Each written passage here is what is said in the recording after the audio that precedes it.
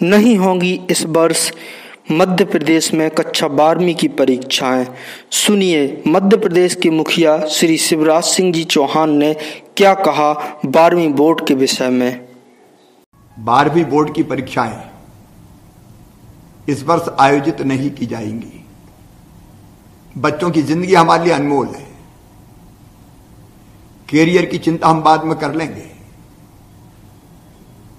इस समय बच्चों पर जब वो कोरोना का संकट झेल रहे हैं, पूरा देश और प्रदेश झेल रहा है, परीक्षाओं का मानसिक बोझ डालना कतई उचित नहीं है।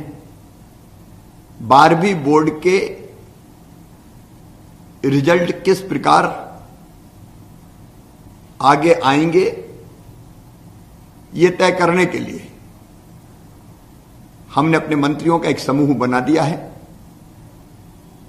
जो विशेषज्ञों से चर्चा करने के बाद आंतरिक मूल्यांकन या अन्य आधारों का विचार करके रिजल्ट्स का तरीका तय करेगा, दसवीं बोर्ड की परीक्षाएँ हमने पहले ही ना कराने का फैसला लिया था, दसवीं के बच्चों को आंतरिक मूल्यांकन के आधार पर।